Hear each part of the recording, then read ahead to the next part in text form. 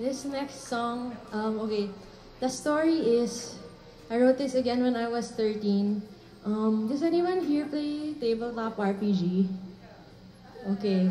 Um, I really wanted to play tabletop RPG, but I wasn't allowed by my parents because it takes too much, takes up too much time daw. So I wrote a song about it because I felt really fun.